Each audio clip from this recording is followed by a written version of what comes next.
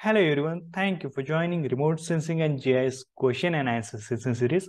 In today's question, we'll see how we can able to convert this Excel sheet into point shape file.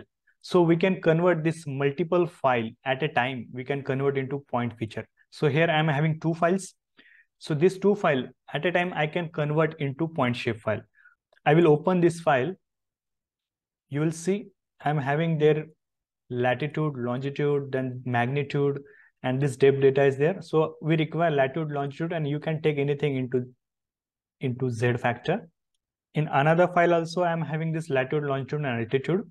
So these two files are different, okay? And these two different files, at a time, I want to convert into point feature. So how we can able to do that using QGIS? So I'm having this SCM GIS plugins. So there is a batch converter is there, okay? So for this, we just need to install this plugin first. So just click, click on the plugin and manage and install plugins. So here you need to search an SCM GIS. Okay. So this plugins, you need to install this first. So once you install these plugins, you just need to click on the SCM GIS and click on the batch converter. So we can convert this CSV file to point file. Okay. So first you need to convert your Excel sheet into CSV file format. So whatever this file is there, you just need to click on the file, then save as. Then you just need to choose your folder and you need to save this file into CSV file format. So I have already saved this both the file into CSV file format. So I'm not going to do it again. So after that, I will come to the QGIS. So here we need to select a folder. Okay. So first option is there, input CSV folder option is there. Okay. So just click on the browse. And after that, we just need to click on this folder. Okay. Then Excel shapefile. Okay. When I will come here, you will see the folder in the video lecture. There is a folder Excel shapefile. So this two shapefile will, you will not see there.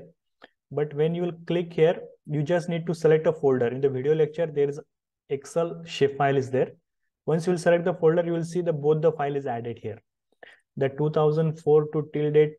So this file is there. Okay. And after that, another file is elevation data is there. Okay. So both the file is there. So if you want to know how you can able to download this Excel sheet and all that data, so you can visit our Vikas Ghadamode channel.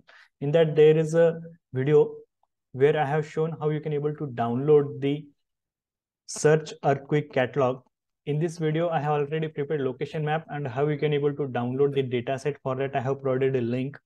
So using that link, you can able to watch the video.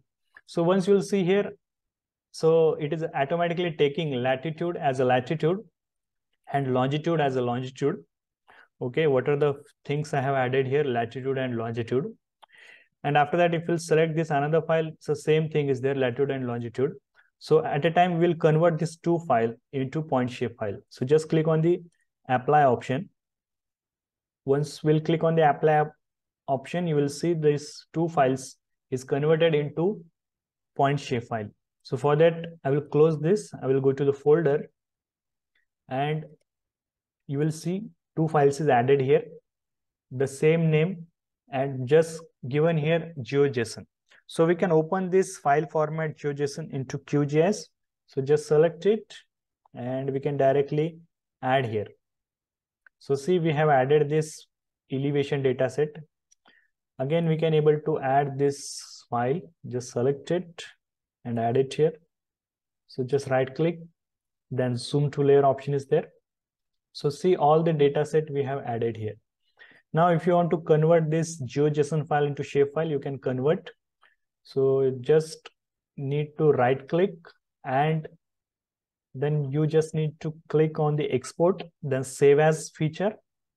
And we can save into desired folder where, where, where we are working. I will save here. That is a magnitude shapefile. Just click on the here automatically is taking shapefile. And here WGS 1984 datum I will select and I will just click on the OK. So now I have successfully converted into shapefile format. Okay. So this way very easily, if you are having hundreds of file, CSV file, we can at a time convert that file into point feature very easily.